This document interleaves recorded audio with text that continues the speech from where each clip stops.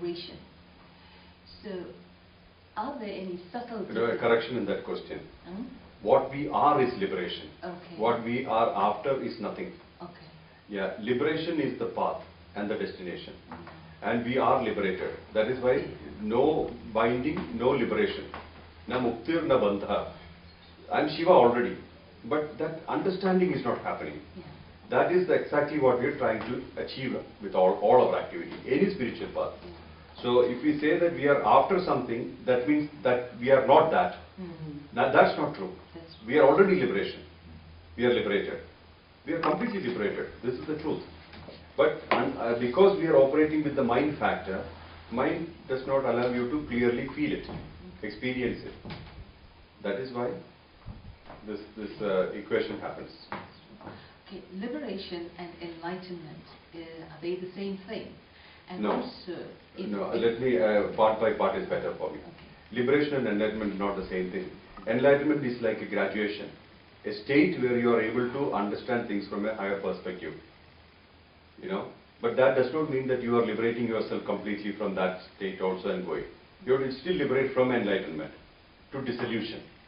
Means you are completely nullifying yourself, dissolving yourself completely and becoming one with the cosmic energy, which you can call Father or Parabrahma or God.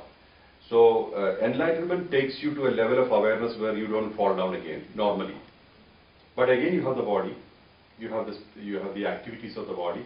You will feel hungry. You will have to go to toilet. You will have to take a bath. You will have to probably you will have emotions as well, some of them. But again, you are operating from a different perspective, a higher level. So the, the impact are different.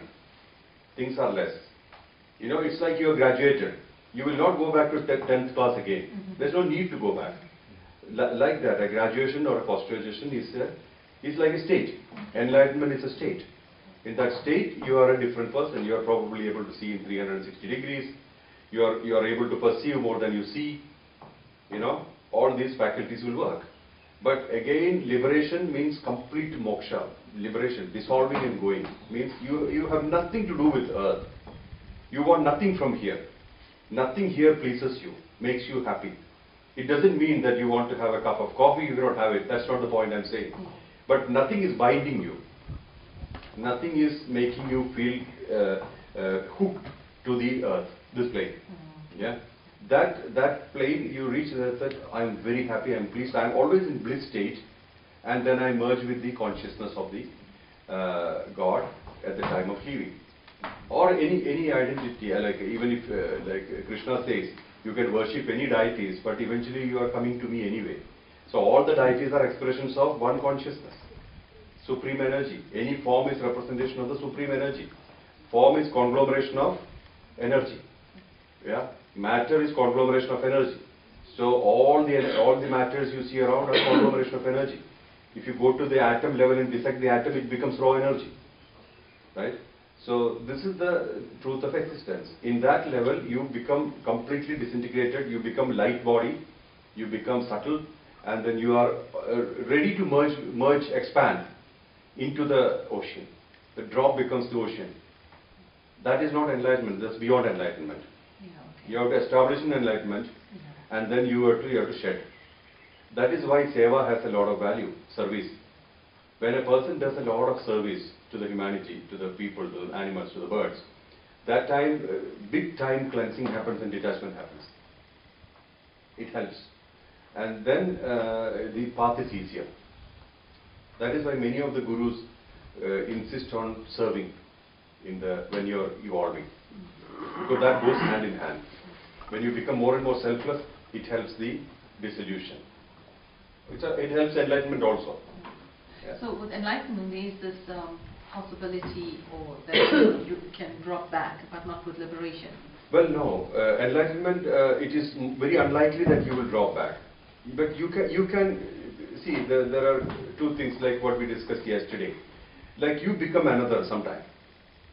You know that can cause a fall for you. Like uh, uh, uh, some people get attracted to you because of your energy and your power, and then you you can probably become that person for some time or reflect that person. That is a falling in the overall thing. But I do not think that you will ever fall from a state. You are probably taking a temporary detour. I, this is my opinion. Mm. You're not per se falling, Mm. but uh, in the path you can fall many times. Until you achieve that state, until you bec- uh, reach the plateau and establish there, there, there is a lot of opportunities of falling. That you see in the, all the seekers. They climb up so much, they fall again. then they climb up so much, fall again. Uh, that is because of the mind, play of the mind. Mind manipulates you. And then you fall. Then you climb up, fall, climb up. But a guru is with you, aiding you, helping you, holding you. So uh, that faith in the guru and faith in the path will help you. Now, even if you do not have a physical guru, if you have faith in the path, gurus will come and help you. And the term spiritual traveler, someone, someone is a, like a Renegade. A spiritual traveler, N- not, not in the sense of human activities or anything, but what, a, liberated soul. I mean, you know, that, that's able to travel the, the dimensions beyond the, the mind, the Well, that, mind. that, that I feel would be a wrong understanding in, in the case of absoluteness. Mm. Because you need to have a unit to move. You need, need to be a unit to move anywhere. You can move as with this, if you are expanded beyond all these forms, then where are you moving? The state of Parabrahma is immovable. State of soul in reality is immovable. A soul when sitting in a body, that substratum, the whole uh, configuration is moving.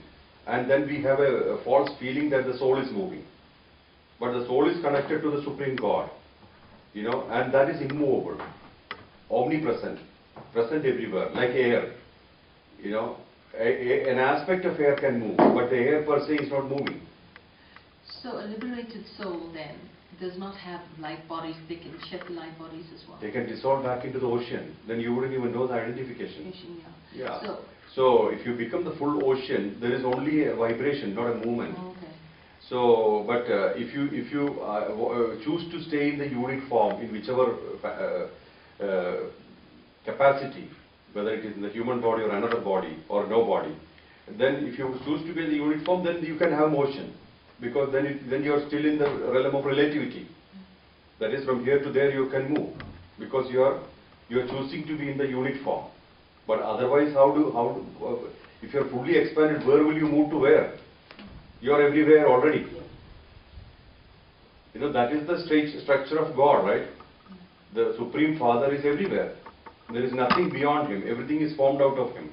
And all the matter that you see are a reflection of Him. And in that level, a matter can move. Because matter is only representing Him and it has got a mobility because it's operated on relativity. It operates on duality. But once you merge with the whole consciousness and become one with the universal consciousness, you have no identification anymore. You don't exist as a unit. Where will you move from where? It's omnipresent. Yeah, it's only omnipresence. Beyond universal consciousness? There's no nothing beyond universal consciousness. Universal consciousness is the supreme. And also there are layers of that. But uh, that way you can never understand that using your intellect. Because the stature of God has to be experienced. The stature of God has to be experienced. Uh, until you become that, you will never know. For example, what is Mohanji's consciousness, what you saw, you will never understand you seeing the video until you become me. you know, once you become me, oh, okay, this is the game.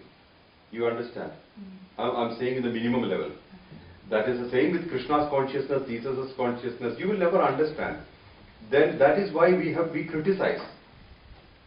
Why do we criticize another person? Because of ignorance. Because we have set certain norms, rules, and we expect the person to operate in that level. Because we don't understand his consciousness. Can you put uh, Krishna into any slot? Impossible. Because they have operated beyond that slots anyway. So once a, a, soul like completely uh, merges with the universal consciousness and you know it becomes a universal con- consciousness, then from that point, if the soul wants to like maybe re-embody, uh, can't do that. You can? Yeah. Yeah, of course, because actually consciousness has multiple dimensions. Right. You can extract yourself and bring yourself back. Okay. But may not be to the earth plane. What will you do here?